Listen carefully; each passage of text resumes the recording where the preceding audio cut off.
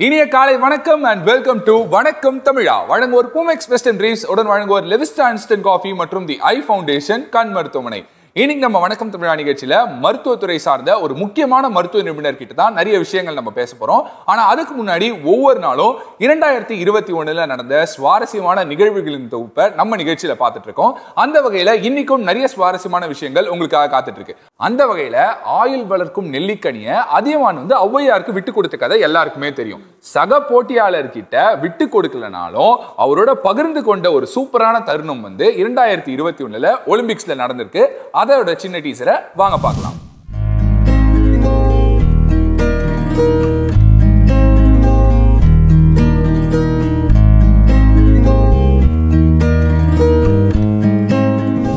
ஸ்போர்ட்ஸ்மேன்ஷிப்னு சொல்லுவாங்க.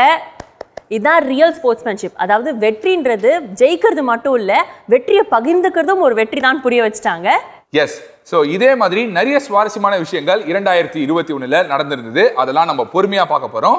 மாதங்களில் அவள் மார்கழி இந்த வரிகள் கேட்டிருக்கியா? ஒரு பெண்ணோட மென்மையை சொல்ற வரிகள். ஆமாங்க மார்கழி மாசம் கூட ரொம்ப மென்மையான சிறப்பான மாசம்தான் தேவர்களுக்கான மாசம்னு சொல்லலாம். பக்தர்கள் கடவுளை ரொம்ப உருகி உருகி வேண்ட மாதம். எல்லா வீட்டு வாசல்கள்லையும் அழகழகான கோலங்கள் அலங்கரிக்கிற மாதம். கிறிஸ்துமஸ் நியூ இயர் போன்ற பண்டிகைகள் கொண்டாட்டங்களை தர மாதம். ஆண்டாள் வைகரையில எழுந்து பாசுரங்கள் பாடி இறைவனை அடைந்த மாதம். இந்த மாதிரி மார்கழி மாசத்தோட சிறப்பை இன்னைக்கெல்லாம் சொல்லிக்கிட்டே இருக்கலாம். ஸோ இன்னைக்கு நம்ம வணக்கம் தமிழா நிகழ்ச்சியில் ஆன்மீக ரீதியாகவும் சரி அறிவியல் பூர்வமாகவும் சரி நிறைய முக்கியமான விஷயங்களை நம்மளோட பகிர்ந்துக்கிறதுக்காக ஒரு முக்கியமான சிறப்பு விருந்தினர் தான் நம்மளோட இணைஞ்சிருக்காங்க.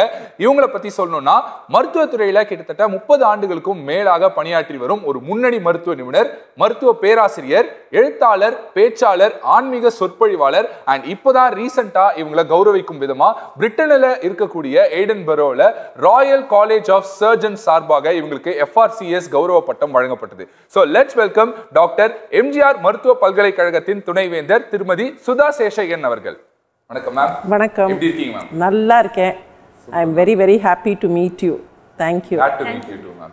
And ma'am, இந்த அழகான காலை பொழுதுல மார்கழி மாதம் வேற. சோ உங்களுடைய அழகான குரல்ல எங்களுக்கு வந்து ஒரு திருப்பாவை நீங்க பாடினீங்க அப்படின்னா அதோடய நம்ம ஷோவை ஸ்டார்ட் பண்ணிடலாம். பாடுறதெல்லாம் விட்டு ரொம்ப நாள் ஆச்சு. அதனால அந்த முதல் திருப்பாவையை வேணா I will just narrate it so Yeah. That everybody can listen to it மார்கழி திங்கள் மதி நிறைந்த நன்னாளில் நீராடப் போதுவீர் போதுமினோ நேரிழையீர் சீர்மல்கும் ஆய்ப்பாடி செல்வச் சிறுமீர்கள். கூர்வேல் கொடுந்தொழிலன் நந்தகோபன் குமரன் ஏறார்ந்த கண்ணி யசோதை இளம் சிங்கம் கார்மேனிச் செங்கண் கதிர்மதியம் போல் முகத்தான் நாராயணனே நமக்கே பறை தருவான் பாரோர் புகழ படிந்தேலோர் எம்பாவாய் super ma'am. Thank you thank you ma'am இந்த ஆன்மீகமான மார்கழி மாசம் வந்து கொஞ்ச நாளா வந்து ஆஸ்பத்திரி மாசமா மாறிட்டு இருக்கு ஸோ அதை பத்தி என்ன நினைக்கிறீங்க மேடம் காரணம் நம்ம லைஃப் ஸ்டைல் சேஞ்சஸ் இப்போ மார்கழி மாதம்ங்கிறதே எதுக்காக இந்த மார்கழி மாதத்தில் காலை நேரத்தில் எல்லாரும் வெளியில் போய் பாடல்களை பாடுறது பஜனை பாடுறது பாவை பாட்டு பாடுறது நோன்பு நோக்கிறதுன்னு வச்சாங்கன்னா இந்த டயத்தில் இந்த சீசனில் ஓசோன் நம்ம அட்மாஸ்ஃபியரில் இருக்கிற ஓசோன் கொஞ்சம் அதிகமாக இருக்கும். அப்போது நம்ம வெளியில் போகும்போது அந்த ஓசோனை நம்ம வந்து சுவாசத்தில் உள்ளே இழுத்தோன்னு சொன்னால் நம்ம உடம்புக்கு நல்லது நம்ம லங்ஸுக்கு நல்லதுங்கிறதுக்கு தான் வச்சாங்க. ஆனால் காலப்போக்கில் நம்ம வாழ்க்கை முறை மாறிப்போச்சு. இப்போ நிறைய பொல்யூஷன் வந்துடுது. சின்ன விஷயம் பார்த்திங்கன்னா முன்னெல்லாம் வீடு பெருக்குவாங்க. வீடு கூட்டி பெருக்கும்போது கொஞ்சம்தான் டஸ்ட் வரும். அந்த டஸ்ட்டை வந்து பக்கத்துலேயே ஏதாவது செடி இருக்கும் செடி அடியில் கூட போட்டுருவாங்க.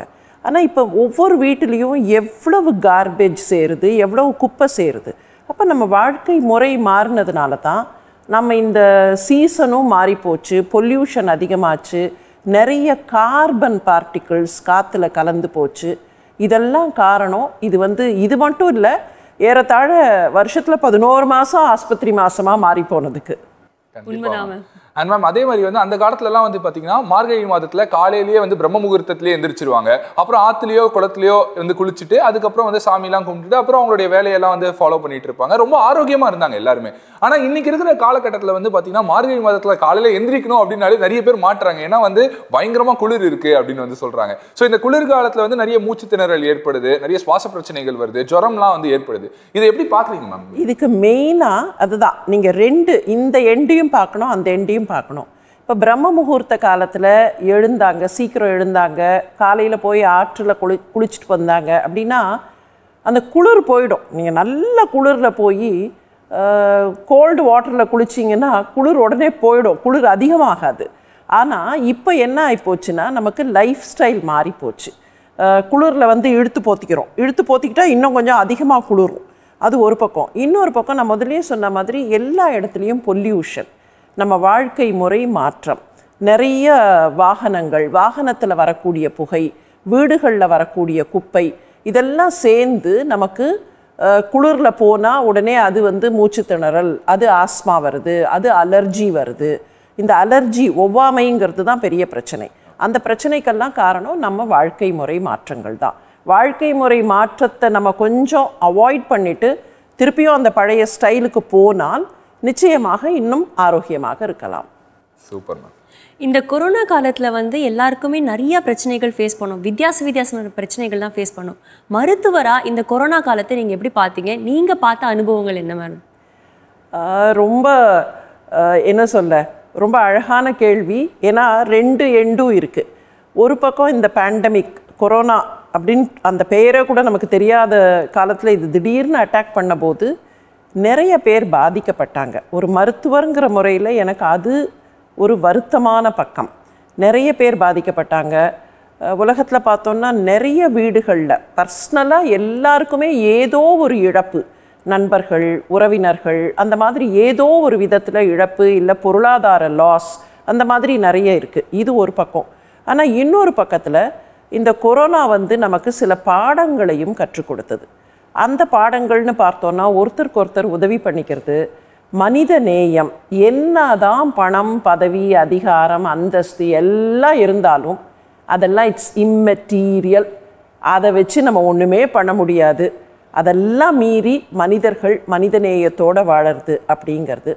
இன்னொரு சைடில் எனக்கு பரிச்சயமான அந்த ஸ்பிரிச்சுவல் ஏரியா ஃபிலாசபி அப்படிங்கிறத வச்சு பார்த்தா இது வந்து ஒவ்வொருத்தரையும் உள்முகமாக பார்க்க வச்சு நம்மையே நாம் கேள்வி கேட்டுக்கிற ஒரு நிலைமை வந்தது. ஒரு இன்ட்ராஸ்பெக்ஷன் என்ன இருக்குது நம்ம வாழ்க்கையில் வாழ்க்கைனா என்ன?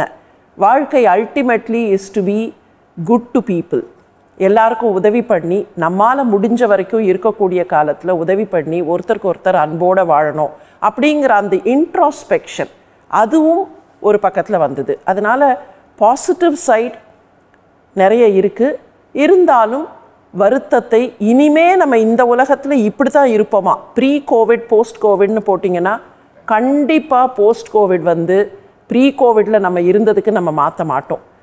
லைஃப் இஸ் கம்ப்ளீட்லி சேஞ்ச்ட் இனிமே உலகம் புது உலகம் தான் நியூ நார்ம் தான். அது கொஞ்சம் நமக்கு வருத்தமாக இருக்குது இருந்தாலும் இதில் பாசிட்டிவ் சைட்ஸும் இருந்ததுங்கிறது உண்மை.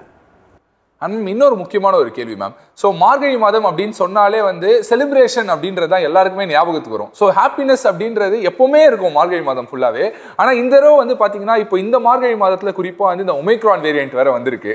ஸோ ஆல்ரெடி விடாத கொரோனா வந்து நம்மளை வந்து துரத்திட்டே இருக்கு. ஸோ இப்படி இருக்கும்போது இனி வரும் காலகட்டம் வந்து எப்படி இருக்க போது தமிழகத்தில் குறிப்பாக வந்து ஒமைக்ரானுடைய பாதிப்பு எந்த அளவுக்கு இருக்கும்னு நினைக்கிறீங்க? இப்போ ஒமைக்ரான்கிற இந்த வேரியண்ட் வந்து நமக்கு இதை பற்றி முழுசாக இன்னும் தெரியல. ஆனால் தெரிஞ்ச விஷயங்கள் அப்படின்னு பார்த்தா முதல்ல வந்த அந்த virus SARS CoV two virus அதில் வந்து ஒரு ஸ்பைக் நீங்கள் அந்த படத்துல எல்லாமே பார்த்துருப்பீங்க அது நீட்டிகிட்டு இருக்கும் அந்த முள்ளு மாதிரி. அந்த ஸ்பைக்கில் இருந்த ஏரியா தான் இப்போ ஒமைக்ரானில் நிறைய மாறி இருக்கு மேக்ஸிமம் சேஞ்சஸ் அந்த ஸ்பைக் ஏரியாவில் த ஜீன்ஸ் ஹவ் சேஞ்ச் அதுதான் இந்த வேரியண்ட்டுன்னு நாம் சொல்கிறோம் ஆனால் ஒரு இது வரைக்கும் தெரிஞ்சதில் ஒமைக்ரானில் அது தென்னாப்பிரிக்காவில் வந்த அந்த லெவல்லேருந்து ஆரம்பித்து பார்த்தா பெரிய தீவிரமான நோயை வந்து அது ஏற்படுத்தலை. நிறைய பேருக்கு அது ஃபாஸ்ட்டாக பரவுது. ரொம்ப ஃபாஸ்ட்டாக பரவுது. ஆனால் அந்த ஃபாஸ்ட்டாக பரவற வேகத்திலே அது ஃபாஸ்ட்டாக குறையவும் குறையுது. ஸோ ரெமிஷன் இஸ் ஃபாஸ்டர் இப்போது நம்ம முன்னால் வேவ்லெல்லாம் பீக்குன்னு சொன்னோம் இல்லையா? நீங்கள் பார்த்தீங்கன்னா அந்த பீக் ஏறுறதுக்கு ஒரு மூணு நாலு மாதம் ஆகும். பீக்குக்கு போயிட்டு அதுக்கப்புறம் அது இறங்குறதுக்கு ஒரு ஆறு மாதம் ஆச்சு. ஆனால் ஒமைக்ரானை பொறுத்த வரைக்கும் இது வரைக்கும் கிடச்சிருக்கிற விஷயங்களில் பீக் வந்து ஒரே மாதத்தில் வருது. அவ்வளோ ஃபாஸ்ட்டாக பரவுது. ஆனால் அதே வேகத்தில் அந்த ஒரே மாதத்தில் அது குறையுது which is a good thing அதனால் வந்தாலும் அது சீக்கிரமாக குறைந்துவிடும் அப்படிங்கிறது ஒரு பக்கம். அதுதான் ஆய்வாளர்களுடைய கணிப்பு. இந்தியாவில் இப்போ இருக்கிறதுல டெல்டா தான் இன்னமும் அதிகமாக இருக்குது எயிட்டி பர்சன்ட் நம்மக்கிட்ட இன்னமும் டெல்டா தான் அதிகமாக இருக்குது டெல்டா அநேகமாக நமக்கு செகண்ட் வேவ்லேயே வந்து கிட்டத்தட்ட ஒரு sixty seven percent of our population is already exposed and kind of immune to delta இருந்தாலும் ஒமைக்ரான் ஆர் டெல்டா எதுவாக இருந்தாலும் நம்ம இன்னும் கொஞ்ச நாளைக்கு இந்த முன்னெச்சரிக்கையை விடக்கூடாது. மாஸ்க் போடுறத விடக்கூடாது. கோவிட் அப்ராப்ரியேட் பிஹேவியர்னு சொல்கிறோம் இல்லையா? அந்த ஃபிசிக்கல் டிஸ்டன்ஸ் மெயின்டைன் பண்ணுறது ஹேண்ட் சானிடைசிங் இதெல்லாம் கண்டிப்பாக விடக்கூடாது. மாஸ்க் வந்து ரொம்ப முக்கியம். இதை நான் ஏன் இங்கே வந்து இந்த ஃபோரத்தை வந்து நான் பயன்படுத்தி வலியுறுத்தி சொல்கிறதுக்கே விருப்பப்படுறேன். நிறைய பேர் பார்க்குறேன். அந்த மாஸ்க்கை கழட்டி வச்சிடுறாங்க. அது வந்து இப்போ அது ட்ரெஸ்ஸுக்கு மேட்சிங்காக மாஸ்க் வந்ததுனால என்ன ஆச்சுன்னா அதை ட்ரெஸ்ஸோட ஒரு பார்ட்டுன்னு நினச்சி அப்பப்போ அங்கங்கே கழட்டி வச்சிடுறாங்க. அது மாதிரி பண்ணாமல் எந்த கூட்டமாக இருந்தாலும் எந்த இடமாக இருந்தாலும் everybody should wear mask one more request எங்கேயாவது நீங்கள் மைக்கில் பேசுகிறீங்க அப்படின்னு சொன்னால் மாஸ்க்கை கழட்டாமல் பேசுகிறதுக்கு எல்லாருமே பழகிக்கிட்டால் நல்லது. ஏன்னா மாஸ்க்கை கழட்டிடுறோம் நம்ம சுவாசம் அந்த மைக்கில் படியும். அடுத்தது அந்த மைக்கை பயன்படுத்துகிறவங்களுக்கு அது ஆபத்தாக முடியலாம். அதனால இந்த பிஹேவியரை நம்ம விட்டுறக்கூடாது. That is what is most important நிச்சயமா மேம் அண்ட் முக்கியமான ஒரு விஷயம் சொல்லியிருந்தீங்க. எப்படி வந்து இந்த ஒமைக்ரானோட ரைஸ் இருக்கோ அதே மாதிரி அதோட ஃபாலும் வந்து குவிக்கா இருக்குன்னு சொல்லியிருந்தீங்க. ஆனா இருக்கக்கூடிய இன்னொரு ஒரு சின்ன பயம் என்னன்னா இந்த டெல்டா வேரியன்ட் வரும்போது வந்து நிறைய வந்து டெத்ஸ் வந்து இருந்தது. சோ அந்த பாதிப்பு வந்து ஒமைக்ரான் வேரியன்ட் வந்து கொடுக்குமா அப்படின்ற ஒரு பயம் தான் இருக்கு. இல்லை அவ்வளவு சாத்தியம் இல்லை. ஏன்னா ஒமைக்ரான் இதுவரைக்கும் எந்த இடத்துலலாம் ஒமைக்ரான் கொஞ்சம் கணிசமான பாதிப்புகளை ஏற்படுத்தித்தோ அந்த நாடுகள்லாம் குறைவான தீவிரமான நோய் இல்லாமல் குறைவான நோய் தான் வந்திருக்கு. ஒன்று ரெண்டாவது நம்ம நாட்டில் இப்போ நிறைய பேருக்கு வேக்சினேஷன் போட்டதுனால நிறைய பேருடைய இம்யூனிட்டி நல்லாவே இருக்குது மேம் இன்னொரு விஷயம் இந்த பீக் பற்றி சொன்னீங்க. ஸோ இந்த ஒமிக்ரான்றது வந்து மூன்றாவது அலையா? இது வந்து டுவெண்ட்டி டுவெண்ட்டி டூவில் எப்போ வந்து பீக்குக்கு போகும்? எவ்வளோ காலகட்டத்துக்கு இருக்கும்?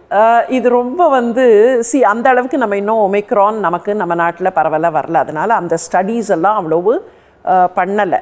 இன்னொன்று என்னென்னா இந்த ஸ்டடீஸ் எல்லாம் பண்ணுறது ஆரம்பத்தில் பண்ணுற அந்த ப்ரொஜெக்ஷன் ஸ்டடீஸ் அளவுக்கு இப்போ பண்ண முடியாது.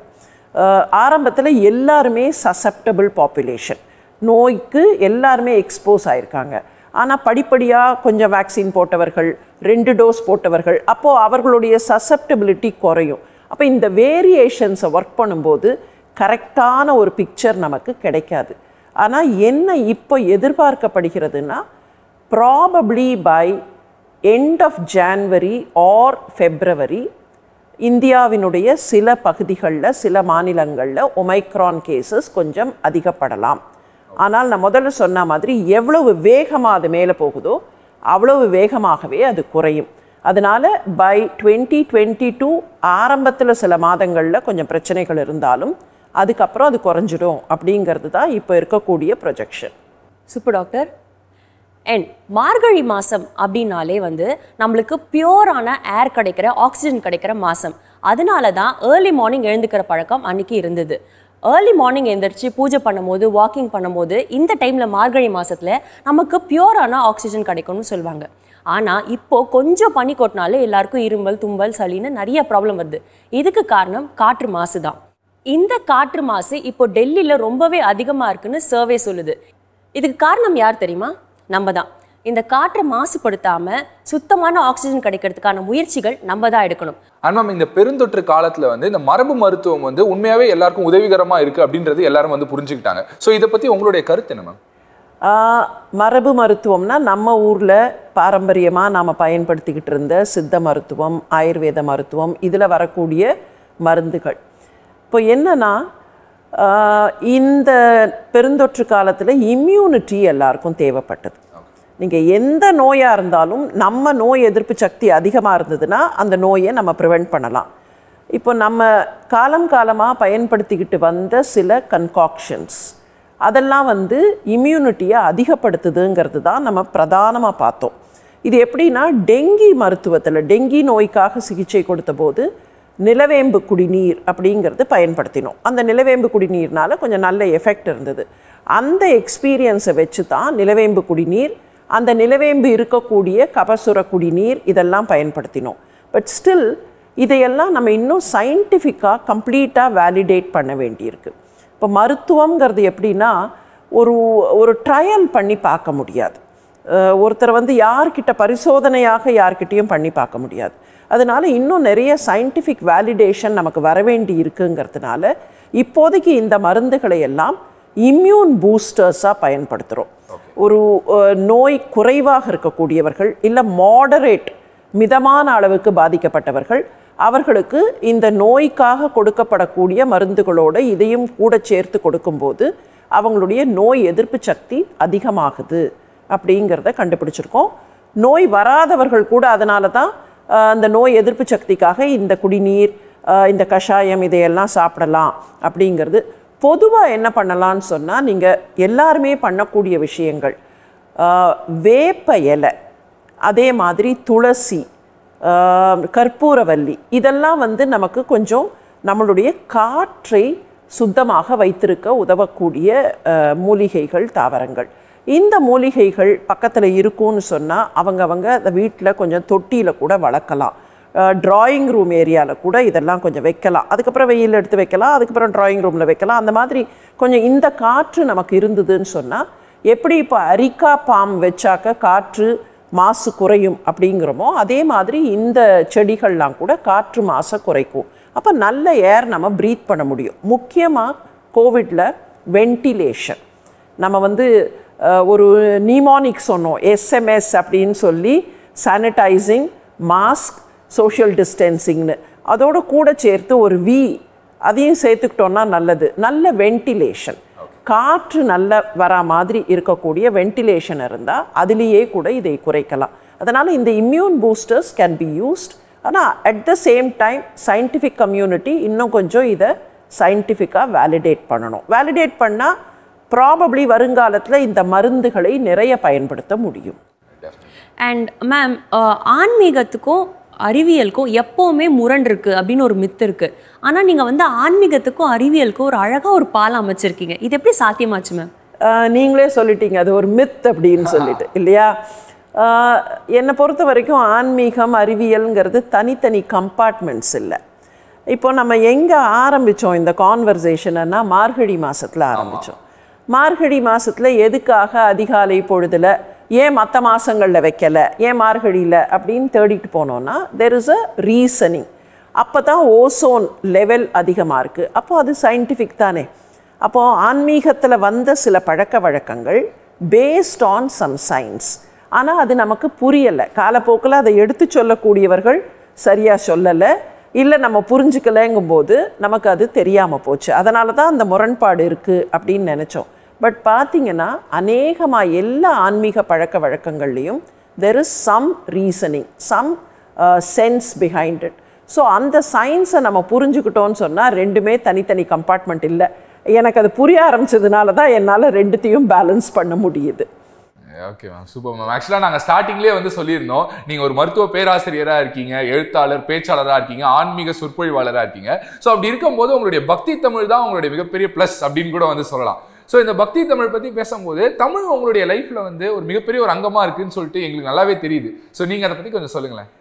எனக்கு வந்து நான் பள்ளிக்கூடத்துக்கு அப்புறம் முறையான தமிழ் படிக்கலை. அதனால என்னை வந்து நீங்கள் என்னுடைய தமிழ் வந்து ரொம்ப உயர்வான தமிழ் அப்படின்லாம் சொல்லும்போது எனக்கே கொஞ்சம் சிரிப்பாக இருக்குது ஆனா எங்களுக்கு வந்து நீங்க சொல்லி தான் எங்களுக்கு இது தெரியுது மேம் நீங்க பேசும்போது ரொம்ப அழகா இருக்கு. நான் வந்து ஸ்கூலில் படித்தேன் செகண்ட் லாங்குவேஜ் இல்லை அப்போ ஃபஸ்ட் அப்போ வந்து செகண்ட் லாங்குவேஜ்னு சொல்லுவாங்க. ஆக்சுவலி ஃபர்ஸ்ட் லாங்குவேஜ் தான் அது. தமிழ் படித்தேன் பள்ளிக்கூடத்துக்கு அப்புறம் நான் வந்து மருத்துவக் கல்லூரிக்கு போன போது எனக்கு அங்கே தமிழ் கிடையாது. ஆனால் தமிழ் படிக்கணுங்கிற ஒரு ஆர்வம் இருந்தது. அதுக்கு முக்கியமான காரணம் என்னுடைய பெற்றோர்கள்னு சொல்லலாம். ரொம்ப சின்ன வயசில் எனக்கு வந்து அப்போல்லாம் எழுத்தெல்லாம் தெரியாத பருவம். ஒரு ரெண்டு வயசு அந்த மாதிரி ரெண்டு ரெண்டரை வயசில். அவங்க என்ன செய்வாங்கன்னா காலையில் எழுப்பி உட்கார வச்சு அந்த படுக்கையிலே உட்கார வச்சுட்டு கையை கூப்பி திருக்குறள் கற்றுக் கொடுப்பாங்க. திருக்குறள் சொல்லணும். இப்போ முந்தின நாள் அஹ், கத்துக்கிட்ட திருக்குறளை அடுத்த நாள் பார்க்காம சொல்லணும். பார்க்காமனா என்ன? எனக்கு தான் எழுத்தே தெரியாதே. எனக்கு இப்போவும் கூட அவங்க சொல்லி கொடுத்த சில குறள்லாம் அந்த இமேஜ் நான் அந்த வயசில் அந்த குறளுக்கு ஏதோ ஒரு கற்பனை இமேஜ் போட்டு வச்சுருந்தேன்ல அந்த இமேஜில் தான் இருக்கே தவிர இந்த எழுத்தை பார்த்தா எனக்கு அந்த எழுத்தோடு அதை வந்து ரிலேட் பண்ண வராது. ஸோ அவங்க தான் பிரதான காரணம். எங்கள் அப்பா வந்து நிறைய படிப்பார். எனக்கு ஒரு பெரிய அட்வான்டேஜ் நான் காலேஜ்க்கு வந்ததுக்கப்புறம் நிறைய தமிழ் இலக்கிய போட்டிகள் அதெல்லாம் வந்தபோது எனக்கு ஒரு பெரிய அட்வான்டேஜ் என்ன கிடைச்சதுன்னா அப்பாவுடைய புத்தகங்கள் வீட்டில் இருந்தன. அவர் வந்து ஒரு தனி நூலகம் மாதிரி வச்சுருந்தார். நூலகம்னு பேர் சொல்லலை ஆனால் நூலகம் மாதிரி வச்சுருந்தார். அதனால் சீரா புராணம் வேணுமா தேம்பாவணி வேணுமா? அதில் போட்டி இருக்கா? இன்றைக்கி அந்த புக்கை போய் எங்கே தேடுறது அப்படின்னு இல்லாமல் அப்பா கிட்ட இருக்கும். ஓகே. அதனால் அதை எடுத்து பயன்படுத்துறது எனக்கு ரொம்ப சுலபமாக இருந்தது. அது ஒரு எளிமையான விஷயமா இருந்தது. இது ஒரு பக்கம். இன்னொரு பக்கம் கல்லூரியில் படிக்கும்போது எனக்கு சென்னை கம்பன் கழகத்தோட தொடர்பு ஏற்பட்டது. அப்போ தான் சென்னை கம்பன் கழகம் புதியதாக தொடங்கப்பட்டு அவங்க நிறைய போட்டிகள்லாம் நடத்தினாங்க. கம்பராமாயண போட்டி திருக்குறள் போட்டின்னு. அந்த தொடர்பில் அந்த போட்டிகளுக்கு போனபோது நீதியரசர் மூமு இஸ்மாயில் ஆசா ஞானசம்பந்தனய்யா காரைக்குடி சாவண்ணா கணேசன் அந்த மாதிரி அந்த பெரிய ஜாம்பவான்னு சொல்கிறோமே அந்த மாதிரி ஜாம்பவான்களெல்லாம் சந்திக்கக்கூடிய ஒரு வாய்ப்பு கிடைத்தது. சூப்பர் மேம் அண்ட் இப்போ ரீசெண்டாக கூட நாங்கள் வந்து ஒரு ஆர்டிக்கல்ல பார்த்திருந்தோம் ஒவ்வொரு தமிழும் வந்து அழகாக தான் இருக்கும். இப்போ கோயம்புத்தூர் தமிழ் அந்த டைலாக் ரொம்ப அழகாக இருக்கும். மதுரையில் பேசக்கூடிய தமிழ் அழகாக இருக்கும். சென்னை தமிழ் பற்றி கூட நீங்கள் வந்து சொல்லியிருந்தீங்க. அதை கூட நாங்கள் பார்த்துருந்தோம். ஆமாம் அதாவது எனக்கு வந்து நான் முழுக்க முழுக்க சென்னையிலேயே வளர்ந்தவள். நான் பிறந்தது உடுமலைப்பேட்டைனா கூட எனக்கு விவரம் தெரிந்து நான் வளர்ந்தது சென்னையில். குரோம்பேட்டை அரசு உயர்நிலைப் பள்ளியில் தான் நான் படித்தேன். அதுக்கப்புறம் சென்னை மருத்துவக் கல்லூரி. எனக்கு வந்து முன்னெல்லாம் சொல்லுவாங்கல்ல மதராசி அப்படின்னுட்டு. எனக்கு வந்து சென்னையை யாராவது குறை சொன்னால் கொஞ்சம் வருத்தமாக இருக்கும். முன்னெல்லாம் ட்ரெயினில் போயிட்டு திரும்பி வரும்போது இந்த சென்ட்ரல் ஸ்டேஷன் வரத்துக்கு முன்னால் பேசின் பிரிட்ஜோட அந்த பழைய அழுக்கான கோபுரம். ஆனால் அதை பார்த்த உடனே சந்தோஷமாக இருக்கும். நம்ம வீட்டுக்கு வந்துட்டோம் அப்படின்னு அது வந்து ஒரு ஒரு ஒரு ஏதோ நம்ம சொந்தமான பொருள் அப்படிங்கிற ஒரு உணர்வை கொடுக்கும். எனக்கு அதனால் சென்னை தமிழை யாராவது குறை சொன்னால் ரொம்ப கஷ்டமாக இருக்கும். இந்த டபாய்க்கிறேன்னு ஒரு வார்த்தை உண்டு. சென்னை தமிழ்ல. எல்லாரும் சொல்லுவாங்க என்ன டபாய்க்கிற? அப்படிம்பாங்க. எல்லாரும் கிண்டல் பண்ணுவாங்க இது என்ன சென்னையில் எப்படிலாம் பேசுறீங்க? அது வந்து சென்னை ஆதி காலத்துலேருந்து பார்த்தீங்கன்னா அதுவும் குறிப்பாக ஆங்கிலேயர்கள் இங்கே ஆட்சி நடத்தின போது இந்த மாநகரம் உருவான போது தெலுங்கு மொழி உருது ஆங்கிலம் இதெல்லாம் கலந்து கொஞ்சம் பட்டணத்து வாழ்க்கை வேகமான வாழ்க்கை. இந்த வேகத்தில் போகும்போது சில வார்த்தைகளை நம்ம நிதானமாக சொல்கிறதுக்கும் வேகமாக சொல்கிறதுக்கும் அந்த வார்த்தை மாறி போகும். இப்போ இந்த டபாய்க்கிறேங்கிறது அப்படி ஒரு வேகத்தில் உருவான வார்த்தை. அது ஆக்சுவலாக என்னன்னு பார்த்தீங்கன்னா டபாய்க்கிறேன்னா என்ன அர்த்தம்? ஏமாத்துற ஏமாத்துறது. ஏமாத்துறது. இல்லையா? இப்போ இப்படி சொல்லி பாருங்கள். ஏண்டா அப்பா ஏய்க்கிறாய்? நான் உங்ககிட்ட கேட்குறேன்னு வைங்க. ஏய்க்கிறதுனால ஏமாத்துறது தானே? இப்போ நீங்கள் என்ன ஏதோ ஏமாத்துறீங்க. நான் என்ன கேட்கலாம் உங்ககிட்ட வந்து? ஏண்டா அப்பா ஏய்க்கிறாய்? இப்போ இதை வேகமாக சொல்லி பாருங்க. ஏண்டா ஏண்டா பாய்க்கிறாய் ஏண்டா பாய்க்கிறாய்னா டபாய்க்கிறாய்ன்னு வந்துடுது அந்த மாதிரி வந்த சொற்கள் தான். நீங்கள் தமிழில் வந்து நம்ம இங்கே சென்னையில் வந்து ஓசி அப்படிம்பாங்க. ஆமா. என்ன இது ஓசி ஓசினா ஃப்ரீ அப்படின்னு அர்த்தம். இது எப்படி வந்ததுன்னா இங்கே ஆங்கிலேயர்கள் ஆட்சி நடந்தபோது இப்போ கூட ஆங்கிலேயர்கள் ஆட்சியை விட்டுருவோம். நம்ம இப்போ இருக்கிற நிலைமையில கூட ஒரு தபால் போடணும்னு சொன்னால் ஸ்டாம்ப் ஒட்டணும் இல்லையா? அஞ்சல் தலை ஒட்டணும். நீங்கள் அரசாங்கத்திலேருந்து தபால் அனுப்பும்போது அதுக்கு ஸ்டாம்ப் ஒட்ட மாட்டாங்க. அந்த ஃப்ராங்கிங் சர்வீஸில் on India government service OIGS அப்படின்னு போடுவாங்க. அப்போ பிரிட்டிஷ் கம்பெனி ஆட்சி இருந்தபோது அவங்க வந்து தபால் தலை ஒட்டாம அனுப்பினதுல என்ன போடுவாங்கன்னா ஆன் கம்பெனி சர்வீஸ். அது என்ன? ஓசிஎஸ் ஸோ காலப்போக்கில் என்னாச்சு? ஸ்டாம்ப் ஒட்டாம ஒரு தபால் அனுப்புறது ஓசியில தபால் அனுப்புறது இனாமாக தபால் அனுப்புவது. அந்த ஓசிங்கிற வார்த்தை வந்து நமக்கு மற்ற எல்லா இடத்துலையும் ஓசி அப்படின்னு வந்தது. அப்போது மொழியில் ஏற்படக்கூடிய காலப்போக்கின் மாற்றங்கள் நாம் பயன்படுத்தக்கூடிய சில வார்த்தைகள்னால ஏற்படுத்தக்கூடிய மாற்றங்கள். அதனால் எனக்கு சென்னை தமிழை இப்போ கூட யாராவது குறை சொன்னால் கொஞ்சம் கஷ்டமாக தான் இருக்கும். கண்டிப்பா மேம் சொன்ன மாதிரி ஒவ்வொரு தமிழுக்கும் அழகு இருக்கு. சென்னை தமிழுக்கும் அழகு இருக்குன்றத ரொம்ப அழகா நீங்க சொல்லிட்டீங்க. எனக்கு என்ன வந்து ரொம்ப ஆச்சரியமா இருக்குன்னா ஒரு சைடு நீங்க வந்து ஒரு முன்னணி மருத்துவ நிபுணரா இருக்கீங்க. இன்னொரு சைடு வந்து ஆன்மீக சொற்பொழிவாளரா இருக்கீங்க. ரெண்டுத்தையும் எப்படி பேலன்ஸ் பண்றீங்க மேம் ரொம்ப சிம்பிள் முக்கியமாக எல்லாரும் என்ன கேட்பாங்க? டைம் இல்லையா? அதுதான் நீங்களும் கேட்குறீங்கன்னு நினைக்கிறேன். ரெண்டு சைட்லேருந்தும் சொல்கிறேன் ஐ ஸ்டீல் டைம் என்னுடைய நேரத்தை நானே திருடிக்கொள்கிறேன் என்ன கொஞ்சம் இந்த மாதிரி சில விஷயங்கள் பண்ணணும்னு நினச்சா நம்ம தூக்கத்தில் இருந்தோ இல்லை நம்முடைய தனிப்பட்ட இதுக்காக ஒரு மணி நேரம் ரெண்டு மணி நேரம் அப்படின்னு வைக்காமல் நம்ம கொஞ்சம் எக்ஸ்ட்ராவாக உழைக்க வேண்டித்தான் இருக்கும். ஸோ அது நம்ம பண்ணித்தான் ஆகணும். That cannot be helped the other side எப்படி ரெண்டையும் பேலன்ஸ் பண்ண முடியுதுன்னு சொன்னால் சயின்டிஃபிக் ஆட்டிடியூடோட ஆன்மீகத்தை பார்க்கும்போது எனக்கு கொஞ்சம் நிறைய விஷயங்கள் புலப்படுது. அதே மாதிரி ஆன்மீகத்தில் கிடைக்கக்கூடிய அந்த சேர்னிங் இன்டர்னலைசிங் கிடைக்கக்கூடிய விஷயங்களை வந்து முதல்ல உள்வாங்கணும். அதுதான் ஆன்மீகம். அப்போ அந்த உள்வாங்கிற தன்மையை நான் சயின்ஸில் அப்ளை பண்ணும்போது நிறைய விஷயங்களை சிந்திக்க முடியுது. நிறைய விஷயங்களுக்குள்ளே இருக்கிற ரிலேஷன்ஷிப்பை கண்டுபிடிக்க முடியுது. ஒரு இன்க்ளூசிவாக எல்லாரையும் சேர்த்து அரவணைத்து சில விஷயங்களை செய்ய முடியுது. சூப்பர் மேம் ஆனால் மேம் நிறைய முக்கியமான தகவல்களை எங்களோட பகிர்ந்துட்டு இருக்கீங்க. இப்போ வந்து இந்த ஒமைக்ரான் பரவல் வந்து ரொம்ப தீவிரமா இருக்க போகுது அப்படின்றது நீங்க வந்து சொல்லியிருந்தீங்க. ஆனால் இன்னும் வந்து பாத்தீங்கன்னா வந்து ஃபாரின் கண்ட்ரிஸ் அதாவது யூகேவா இருக்கட்டும் இல்லைன்னா வந்து யூஎஸ்ஆ இருக்கட்டும் இங்கெல்லாம் வந்து அடுத்த வேரியண்ட்னா டெல்மிக்ரான் அப்படின்ற மாதிரியான ஒரு வேரியன்ட் பரவிட்டு இருக்கு அப்படிலாம் வந்து சொல்றாங்க. ஸோ இது எண்டே இல்லையா அப்படின்ற மாதிரி தான் எங்களுக்கு இருக்கு. அதை பத்தின தகவல்கள் உங்களுக்கு தெரியுமா ஒரு விஷயம். ஒமைக்ரான் ரொம்ப தீவிரமாக பரவ போகுதுங்கிறத நம்ம இப்போ அப்படிலாம் இ- அப்படிப்பட்ட நிலைமை இப்போ நமக்கு இல்லை. நம்மக்கிட்ட இருக்கு ஒமைக்ரான் ஆனால் இன்னமும் டெல்டா தான் நம்மக்கிட்ட நிறைய இருக்கு. Okay. ஸோ அது which we are already use to kind of இந்த டெல்மிக்ரான்ங்கிறது என்னன்னா சில பேர் என்ன நினைக்கிறாங்க இந்த வேரியேஷனும் அந்த வேரியேஷனும் ரெண்டும் சேர்ந்து வரும் அப்படிங்கிறது அதை பற்றி இன்னும் நமக்கு சயின்டிஃபிக்காக எந்த ப்ரூஃபும் இல்லை. இதெல்லாம் வந்து பெயர்களை வச்சு எல்லாரும் செய்யக்கூடிய ஒரு விளையாட்டு தான். ஒன்று தெரிஞ்சுப்போம். கடற்கரையில் போய் நிற்கிறீங்க அப்படி கடற்கரையில் நிற்கும்போது அலை வருமா அப்படின்னு கேட்டால் என்ன பதில் சொல்கிறது கண்டிப்பா வரும். ஒரு வைரஸ் வந்துடுச்சு. அந்த வைரஸ் எங்கே போக போகுது? எங்கேயும் போகாது. இந்த உலகத்தில் தான் இருக்கும். நம்ம எல்லாருடைய நோய் எதிர்ப்பு சக்தியும் அதிகப்பட அதிகப்பட அந்த வைரஸ் ஒரு ஓரமாக எங்கேயோ போய் ஒதுங்கி உட்காந்துக்கும் அது எண்டமிக் ஆகிடும் இப்போ எப்பிடமிக்லேருந்து அது எண்டமிக் எங்கேயோ ஒரு ஓரத்தில் இருக்கும். எப்போவாவது யாருக்காவது நோய் எதிர்ப்பு சக்தி குறையும் போது அது அவர்களை பாதிக்கும். இதுதான் நேச்சுரல் ப்ராசஸ் அதனால் அலை வரும். நாம் போய் நின்னா கண்டிப்பாக அலை வரும். ஆனால் அந்த அலை உயரமான அலையாக வருமா? இல்லை காலையே தொடாமல் அங்கேயே போயிடுமா? சில அலைகள் உயரமாக வரும் சிலது அங்கேயே போயிடும் இல்லையா? நம்ம என்ன பண்ணக்கூடியதுன்னா எந்த அலையும் உயரமான அலையாக இல்லாமல் நம்ம காலையே தொடாமல் அந்த பக்கமே அந்த அலை போவதற்கான நடவடிக்கைகள்.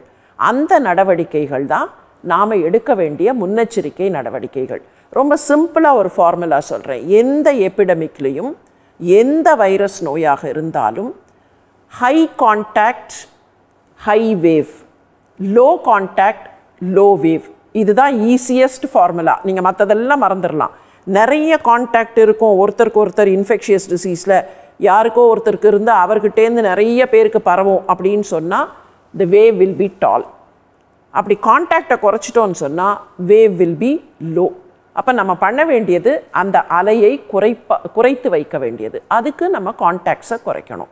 We should still be physically distant from one another எவ்வளவு தூரத்துக்கு ஒன்றா உட்காந்து சாப்பிட்றது இதையெல்லாம் குறைக்கணும். இப்போ வீட்டில் ஒருத்தர் வெளியில் போயிட்டு வரார்.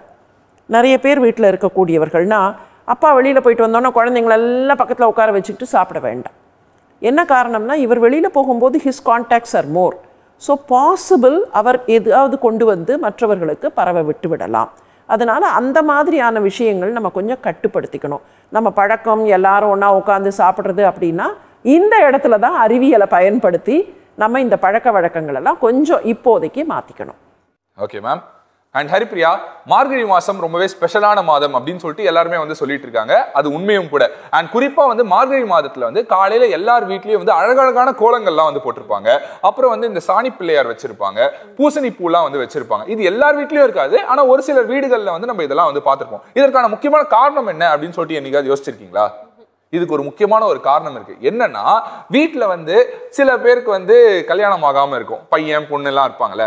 அவங்க என்ன பண்ணுவாங்கன்னா காலங்காத்தால எந்திரிச்சு அழகான கோலம்லாம் போட்டு சாணி பிள்ளையார் வச்சு அதில் பூசணிப்பு வந்து வைப்பாங்க. ஸோ அந்த சைடு வந்து வீதி உலா நிறைய பேர் வந்துட்டு இருப்பாங்க. அண்ட் காலையில வந்து நிறைய பஜனைகள்லாம் வந்து வந்துட்டு இருப்பாங்கல்ல. அப்போ பார்த்துட்டு இருக்கும்போது ஓ இந்த வீட்டில் வந்து ஒரு பையனும் பொண்ணும் வந்து கல்யாணம் ஆகாம இருக்காங்க போல அப்படின்னு சொல்லிட்டு தை மாசம் வந்து அவங்க வீட்டுக்கு வந்து வரன் பேச போவாங்க. ஸோ இது வந்து ஒரு வகையான ஒரு சிக்னல் மாதிரி அப்படின்னு கூட வந்து சொல்லலாம். மேம் நீங்கள் சொன்ன மாதிரி வந்து அலைகள் ஓய்வதில்லை தான் ஆனால் அதுக்கு நம்ம ப்ரிப்பேர்டாக இருக்குமா இல்லையான்றதான் கேள்வி அப்படின்ற மாதிரி இருக்குது ஸோ ப்ரிப்பேர்டாக இருக்கணும்னா ஆப்வியஸ்லி நம்மளோட இம்யூனிட்டி பவரை வந்து இன்க்ரீஸ் பண்ணிட்டே இருந்தோம்னாலே எந்த ஒரு பாதிப்பும் இருக்காது அப்படின்றது எல்லாருக்குமே வந்து தெரியும். ஸோ அப்படி இருக்கும்போது குறிப்பாக இந்த காலகட்டத்தில் இம்யூனிட்டியை இன்க்ரீஸ் பண்ணுறதுக்கு நம்ம என்னென்ன விஷயங்கள் பண்ணோம்னு சொல்லுங்கள் அண்ட் ஆல்சோ வந்து இந்த குளிர்காலத்தில் வந்து பெரும்பாலும் நிறைய பேருக்கு வந்து ஃப்ளூலாம் வந்து ஏற்படும். அதுவும் குறிப்பாக முதியவர்களுக்கு ஈஸியாகவே இந்த ஃப்ளூலாம் வந்து ஏற்படுறதுக்கான சான்சஸ் வந்து இருக்கு. ஸோ அவங்க வந்து எவ்வளோ பாதுகாப்பாக இருக்கணும்? ஒன்று நம்ம நோய் எதிர்ப்பு சக்திக்கான அந்த மாதிரியான ஊட்டச்சத்து நிறைந்த உணவு. அதே சமயத்தில் சின்ன சின்ன எக்ஸசைசஸ் காலையில் கொஞ்சம் கதவை திறந்து அதில் வரக்கூடிய காற்று வீட்டில் இருக்கிற சாளரங்கள் விண்டோஸ் எல்லாத்தையுமே நம்ம ஓப்பன் பண்ணுறது நல்லது. ஸோ தட் கிராஸ் வென்டிலேஷன் ஒரு பக்கத்துலேருந்து இன்னொரு பக்கத்துக்கு அந்த காற்று போகிற மாதிரி. பட் என்ன பண்ணலாம்னா ரொம்ப அதிகாலை பொழுதில் அதை திறக்க வேண்டாம். ஏன்னா அதிகாலை பொழுதில் திறக்கும் போது அந்த செடிகள்லேருந்து வரக்கூடிய போலன் வந்தால் அலர்ஜி வரும். அதனால் கொஞ்சம் வெயில் வர ஆரம்பிச்சதுக்கப்புறம் திறந்தோன்னு சொன்னால் அந்த க்ராஸ் வென்டிலேஷன் நமக்கு கிடைக்கும். காரில் போகும்போது கூட காரில் பயணிக்கக்கூடியவர்கள் ஏசி கார் தான் இப்போ அநேகமாக அப்போ நம்ம என்ன பண்ணுறோம் எல்லா கதவையும் மூடிட்டு போகிறோம் அப்படி இல்லாமல் கொஞ்ச நேரத்துக்கு கீப் அந்த பக்கம் ஒரு விண்டோ திறந்து இந்த பக்கம் ஒரு விண்டோ திறந்தால் அந்த கிராஸ் வென்டிலேஷன் கிடைக்கும்.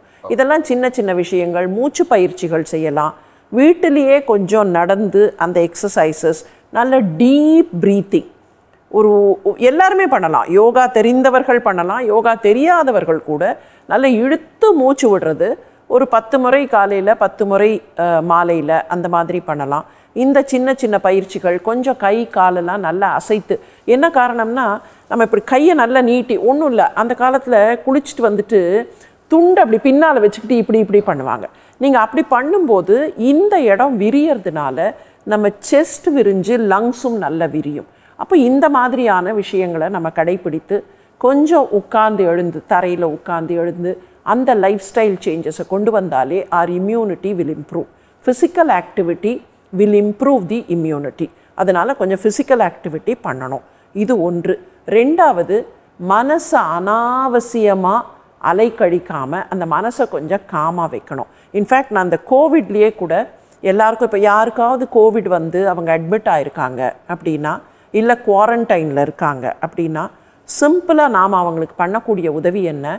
அவங்களுக்கு ஈவினிங்கில் ஒரு ஃபோன் பண்ணுங்கள் ஃபோன் பண்ணி ஏன்னா குவாரண்டைனில் இருக்கும்போது என்னென்னமோ நடக்கிற மாதிரி இருக்கும். வீட்டுக்குள்ளே ஐசோலேஷனில் இருக்காங்கன்னா யாரோ வந்துட்டாங்க என்னமோ ஆயிடுச்சு நமக்கு யாருமே நமக்கு உதவி இல்லை நாம் தனித்து விடப்பட்டோம் அப்படிங்கிற ஒரு பயம்லாம் வரும். அதனால் அவங்களுக்கு ஒரு ஃபோன் பண்ணுறது பொதுவான விஷயம் பேசணும். அவங்கக்கிட்ட போய் எப்படி இருக்குது இன்றைக்கி இன்றைக்கி இருமல் அதிகமாக இருக்கா? இன்றைக்கி தும்மல் அதிகமாக இருக்கான்னு கேட்டால் அவங்க இன்னும் பயப்படுவாங்க. ஸோ பொதுவான விஷயம் நீங்கள் ரசித்த இசை நீங்கள் கேட்ட பாட்டு அந்த மாதிரி விஷயங்களை பேசினா you can help get their mood up so அந்த மாதிரி மூட் எலிவேஷன் நம்ம பண்ணலாம். மருந்து சாப்பிடணுங்கிற அவசியம் இல்லை. இதை நமக்கு நாமே கூட நாம் பண்ணிக்கலாம். இசை கேட்பது வேறு ஏதாவது படிப்பது அந்த மாதிரி பண்ணும்போது we divert our cells and our mood becomes better மனசை அலைக்கழிக்காமல் அனாவசியமாக கவலைப்படாமல் அனாவசியமாக டென்ஷன் ஆகாமல் வைத்திருந்தால் that itself is an immunity booster so இந்த ரெண்டு விஷயம் ஃபிசிக்கல் ஆக்டிவிட்டி ஒரு பக்கம் மென்டலி பேலன்ஸ்டாக இருக்கிறது இன்னொரு பக்கம். இது ரெண்டுமே நல்ல இம்யூனிட்டி பூஸ்டர்ஸ் தான். மேம் மருத்துவம் வந்து ஒரு வியாபாரமா போயிட்டு இருக்கு அப்படின்னு ஒரு கருத்து இருக்கு. ஸோ இதை பத்தி உங்ககிட்ட தான் கேட்டாகணும். அதை நீங்க எப்படி பாக்குறீங்க மேம் அதாவதுமா வியாபார நோக்கம் அதிகப்பட்டிருக்கு அப்படிங்கிறது ஓரளவுக்கு உண்மைதான். ஆனால் மருத்துவம்னு மாத்திரமில்லை எல்லா துறையிலையுமே அதை கொஞ்சம் எந்த துறையாக இருந்தாலும் அதை கொஞ்சம் வியாபாரத்தனமாக பார்ப்பது. இன்னொரு பக்கம் அதுக்கு என்ன காரணம் அப்படின்னும் பார்க்கணும். இப்போது ஒரு மருத்துவர்கிட்ட போகிறோம் இப்போ நானே ஒரு மருத்துவர்கிட்ட போகிறேன்னு வைங்க. முன்ன வந்து அந்த காலத்தில் குருசாமி முதலியாரை பற்றி ஒன்று சொல்லுவாங்க அவருடைய கிளினிக் எப்படி இருக்கும்னு சொன்னால் ஒரே ஒரு டேபிள் மாத்திரம் போட்டிருக்கும். நோயாளி உட்கார்றதுக்கு ஒரு நாக்காளி இருக்கும். டாக்டருக்கு நாக்காளி இருக்காது. அவர் எங்கே உட்காருவாருன்னா அவருக்கு ரொம்ப பிடிச்சது அவருக்கு வசதியாக அவர் ஃபீல் பண்ணது. அந்த பழைய காலத்து ஜன்னல் இருக்கும்ல அந்த ஜன்னலில் கொஞ்சம் அந்த விண்டோ சில்னு சொல்லுவாங்க கொஞ்சம் அகலமாக இருக்கும் அந்த காலத்து ஜன்னல். அந்த இடத்துல தான் அவர் உட்காந்து நோயாளியை பரிசோதனை பண்ணுவார். அப்போது அந்த மாதிரி ஒரு செட்டப் அப்போ இருந்தது. இப்போ நம்ம அந்த மாதிரி ஒரு செட்டப் இருந்தால் அதை லைக் பண்ணுவோமா? அங்கே போன உடனே வி எக்ஸ்பெக்ட் சர்டன் ஃபெசிலிட்டிஸ் அந்த இடம் இப்படி இருக்கணும் பார்வைக்கு குளிர்ச்சியாக இருக்கணும் அங்கே வந்து ரொம்ப பேராக இருக்கக்கூடாது. கொஞ்சம் நல்ல அந்த இடம் வந்து ஒரு கம்ஃபர்ட் கொடுக்கணும் அப்படின்னு. அப்போ அதை கொடுப்பதற்கு அதற்கான வசதிகளை இன்க்ரீஸ் பண்ணும்போது ஸோ எல்லாமே வந்து ஒரு விஷயஸ் சைக்கிளாக மாறி போயிடுது. அதனால் இது வந்து கம்ப்ளீட்டாக மருத்துவத்துறை மட்டுமே குற்றவாளிகள் அப்படின்னு சொல்ல முடியாது. ஆனால் சில இடங்களில் அது கொஞ்சம் வியாபார நோக்கத்தோடு அதிகப்பட்டு வருவது மாதிரி இருக்குது என்னுடைய வேண்டுகோள் என்னன்னா இந்த வியாபார நோக்கம் வேண்டாம் அப்படிங்கிறது தான் ஏன்னா மற்ற துறைகளுக்கும் மருத்துவத்துறைக்கும் ரொம்ப வித்தியாசம் இருக்குது இப்போது வேறு எந்த துறை நீங்கள் வந்து ஒரு வீடு கட்டுறீங்க. என்ஜினியரிங் துறை அதில் இருக்கக்கூடியவர்கள் அதில் இன்வால்வ்டுன்னு சொன்னால் நீங்கள் வீடு கட்டும்போது you will want to make it நம்ம கட்டுற வீடு பிரமாதமாக இருக்கணும்னு சொல்லி நீங்கள் அதில் கூடுதலான பணம் செலவழித்தால் கூட அங்கே வந்து உங்களுடைய பர்பஸ் வேறு. ஆனால் இது அவங்க அவங்களுக்கு நோய் அப்படின்னு வரும்போது அது உயிர் சம்பந்தப்பட்ட விஷயம். அவங்களுடைய ஆரோக்கியம் சம்பந்தப்பட்ட விஷயம். அப்போ இதில் வந்து கொஞ்சம் வியாபாரத்தனம் கலந்தால் அது அவ்வளோ சரியாக வராது. அங்கே கொஞ்சம் கூடுதலான ப்ராஃபிட்னா கூட பரவாயில்ல. You will not mind it நூறுரூவாய்க்கு கிடைக்கிற பொருளை நூற்றி இருபது ரூபா அப்படின்னு சொன்னால் பரவாயில்ல நான் ஒரு முறை வாழ்க்கையில் வீடு கட்டுறேன். அந்த பொருள் கொஞ்சம் எக்ஸ்பென்சிவாக இருந்தால் பரவாயில்ல அப்படிங்கிற ஹியூமன் சைக்காலஜி இருக்கும். ஆனால் மருத்துவத்தில் அப்படி இருக்காது. அதனால் மருத்துவத்துறையில் வியாபாரத்தன்மை கலக்காமல் இருப்பது எவ்வளவு தூரத்துக்கு அந்த வணிகத்தன்மையை குறைக்கிறோமோ it is good for everyone not only doctors but also the society கண்டிப்பா Super, ma'am ma'am. Super ma'am so நிறைய முக்கியமான விஷயங்கள் எங்களோட வந்து பகிர்ந்துக்கிட்டீங்க அறிவியல் பூர்வமாகவும் சரி ஆன்மீக ரீதியாகவும் சரி ரெண்டுமே வந்து it goes hand in hand அப்படின்ற மாதிரின்றது எங்களுக்கு ஒரு கிளாரிட்டியா வந்து இன்னைக்கு புரிஞ்சதுன்னு தான் சொல்லணும். அண்ட் ஆல்சோ ஒமைக்ரான் பத்தி நிறைய பயம் இருந்தது கேள்விகள் இருந்தது. அதுக்கும் ஒரு நல்ல கிளாரிட்டி கொடுத்துருந்தீங்க. குளிர்காலத்துல வரக்கூடிய நோய்கள் பத்திலாம் வந்து பகிர்ந்துக்கிட்டீங்க எங்களுக்கும் ரொம்ப யூஸ்ஃபுல்லா இருந்தது. பார்த்துட்டு இருந்த நேயர்களுக்கும் ரொம்ப யூஸ்ஃபுல்லா இருந்திருக்கும் மேம் இப்போ நேயர்களுக்கு இந்த சூழல்ல இருக்க எப்படி இருக்கணும் நம்ம எவ்வளவு பாதுகாப்பா இருக்கணும்ன்றத பத்தி ஒரு டேக் ஹோம் அட்வைஸா சொல்லுங்க. Okay my take home to everyone is what I would like to take home right இப்போ இருக்கிற இந்த பெருந்தொற்று காலத்தில் நாம் இன்னமும் நம்ம எச்சரிக்கை உணர்வை விட்டுடாம அதே ஜாக்கிரதையோட எப்படி நம்ம வந்து போன வருஷம் கொஞ்சம் பயந்து இருந்தோமோ அதற்காக அதே மாதிரி இருக்கிறது நல்லது. ஆனால் அதே சமயத்தில் let us also understand virus எங்கேயும் ஓடிடாது. வைரஸ் இங்கே தான் இருக்கும். We have to learn to live with it அந்த வைரஸோட தான் நம்ம இருந்தாகணும் அப்படின்னா அதை எப்படி ப்ரிவெண்ட் பண்ணுறது நம்முடைய நோய் எதிர்ப்பு சக்தியை இன்க்ரீஸ் பண்ணிக்கணும். நம்ம பழக்க வழக்கங்கள் லைஃப் ஸ்டைலை கொஞ்சம் நல்லபடியாக வச்சுக்கணும். இந்த லைஃப் ஸ்டைல் அப்படின்னு சொல்லும்போது ரொம்ப முக்கியமாக நான் சொல்ல நினைக்கிறது என்னென்னா லெட்டஸ் ஹாவ் லைஃப் ஸ்டைல் நமக்கு வந்து எதெல்லாம் உடம்புக்கு நல்லதோ முன்னெல்லாம் தரையில் உட்காந்து சாப்பிடுவோம். இப்போ வந்து எல்லாரும் டைனிங் டேபிளுக்கு போயிட்டோம். அப்போ கால் முட்டி வலிக்குது அப்படின்னா ஏன் வலிக்காது? அப்போ என்ன செய்யலாம்? ஒரு வாரத்தில் ஒரு நாள் எல்லாரும் தரையில் உட்காந்து எழுந்திருக்கலாம். அப்போ இந்த மாதிரியான சின்ன சின்ன பழக்க வழக்கங்களை நம்ம கொஞ்சம் கடைப்பிடிச்சோன்னு சொன்னால் எந்த வைரஸும் நம்மை அண்ட முடியாது. இல்லை எந்த வைரஸ் வந்தாலும் we will be able to overcome I believe என்ன பிரச்சனை வந்தாலும் நம்ம ஓவர் கம் பண்ண முடியும். நமக்குள் ஒற்றுமை நமக்குள் அன்பு நமக்குள் மனிதநேயம் இருந்தால் அதுதான் என்னோட டேக் ஹோம் நான் எடுத்துகிட்டு போகிற டேக் ஹோம் நிச்சயமா மேம் சூப்பர் மேம் ஸோ கண்டிப்பா இந்த மார்னிங் வந்து எங்களுக்கு ரொம்ப பிளசண்டாவும் பிளிஸ்ஃபுல்லாகவும் இருந்தது. அதுக்கு முக்கியமான காரணம் நீங்க தான் ரொம்ப நன்றி மேம் எங்க நிகழ்ச்சிக்கு. எனக்கு ரொம்ப சந்தோஷம். இளைஞர்களை சந்திச்சு நிறைய விஷயங்கள் நல்ல விஷயங்கள் பேசினது. ரொம்ப மகிழ்ச்சி சந்தோஷம். என்னுடைய நன்றிகள். மனமார்ந்த நன்றிகள். தேங்க்யூ மேம் அண்ட் உங்களுக்காக லெவிஸ்டா இன்ஸ்டன்ட் காஃபி வழங்கும் ஒரு சூப்பரான கிஃப்ட் நம்பர் ஸோ இன்னைக்கு நம்ம வணக்கம் தமிழ் நிகழ்ச்சியில ஒமைக்ரான் பத்தியும் குளிர்கால நோய்கள் பத்தியும் நிறைய முக்கியமான தகவல்களை டாக்டர் எம்ஜிஆர் மருத்துவ பல்கலைக்கழகத்தின் துணைவேந்தர் திருமதி சுதா சேஷையன் அவர்கள் நம்மளோட பகிர்ந்துக்கிட்டாங்க கண்டிப்பா எல்லாருக்கும் யூஸ்ஃபுல்லா இருந்திருக்கும் நம்புறோம். இரண்டாயிரத்தி இருபத்தி ஒண்ணுல உலகில் நடந்த மிக முக்கியமான சுவாரஸ்யமான நிகழ்வுகள் தான் நம்ம பார்க்க போறோம். எஸ் ஒலிம்பிக் வரலாற்றிலேயே முதல் முறையாக டோக்கியோ ஒலிம்பிக்ஸ்ல இந்த வருடம் சக போட்டியாளர்கள் விட்டு கொடுத்து போலனாலும் பதக்கத்தை பகிர்ந்து கொண்டாங்க. அந்த அழகான தருணம் இதோ. டோக்கியோ ஒலிம்பிக்கில் உயரம் தாண்டும் போட்டியில் கத்தார் நாட்டு முத்தாஸ் பார்ஷிம் இத்தாலியின் கியான் மார்க்கோ தாம்பேரி ஆகிய இருவரும் தான் கடைசி கட்ட மோதல். ரெண்டு பேருக்குமே சமமான புள்ளிகள் கிடைக்க வெற்றியாளரை முடிவு பண்ண இன்னொரு போட்டி வச்சுக்கலாம்னு கேட்டாங்க. ஆனா பார்ஷிம் இரண்டு பேருக்கும் ஒரே பதக்கத்தை கொடுக்க முடியுமான்னு கேட்க அதுக்கு விதி இருக்கிறதா ஒலிம்பிக் குழுவும் சொல்ல உலகத்துக்கு ஒரு ஆச்சரியமான அற்புதமான காட்சி கிடைத்தது. Wow so two thousand twenty ஒனோட best inspirational மூமெண்ட்டாக நம்ம இதுதான் சொல்ல முடியல அஸ்வத். எஸ் அண்ட் ஹரிப்ரியா கோயில் இல்லாத ஊர்ல குடியிருக்க வேண்டாம்னு சொல்லிட்டு சொல்லுவாங்க. ஆனா வீட்லயே நம்ம வந்து பூஜை அறையை வச்சுக்கிறது இல்லையா? அதுக்கு என்ன இப்போ?